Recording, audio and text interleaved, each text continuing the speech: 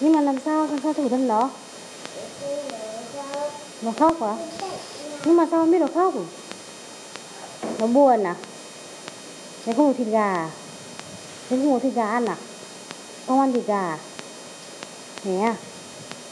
Thế nhưng mà bây giờ nhà mình đã thịt gà mới ăn thịt. Nhưng mà nhà mình nó nhà mình thịt gà nhưng không có đi ăn đâu.